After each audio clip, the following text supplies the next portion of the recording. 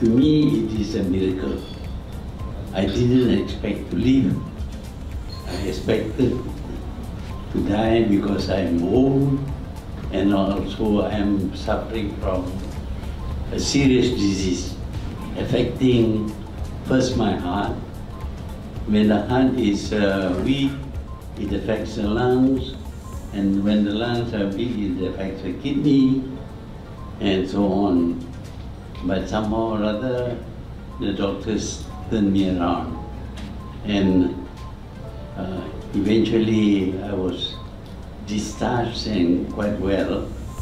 Not 100%, but enough uh, for me to continue whatever little work that I have to do.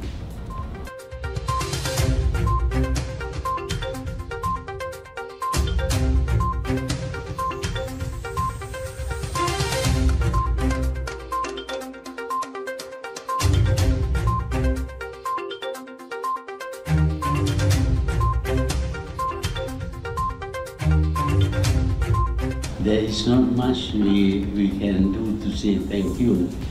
I would like to give $100 each, but that would be bribery. And bribery is not allowed.